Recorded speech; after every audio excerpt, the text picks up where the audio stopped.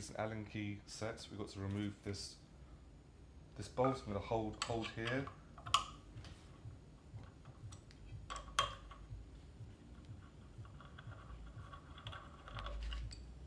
This will lift off the belt.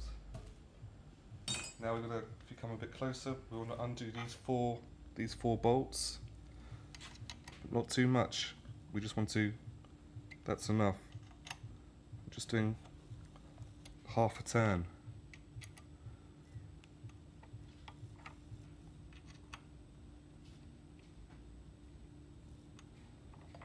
This allows now the motor to slide.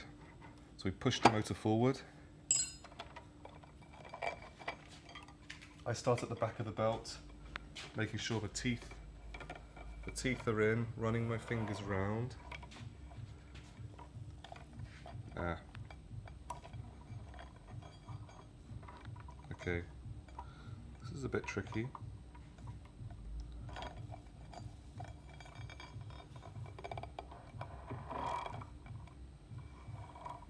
There, I'm on. Now I'm adding, I'm adding some tension.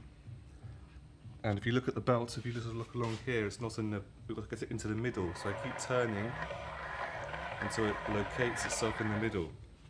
Now still adding pressure, keeping the, keeping the belt with tension, adding pressure, and now tight up one bolt.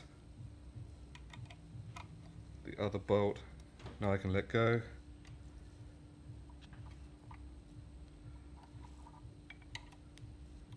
and do up the last two bolts.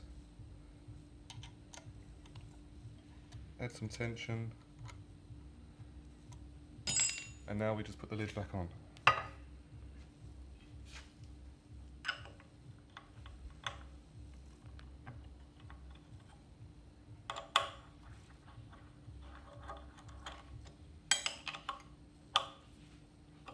Boom.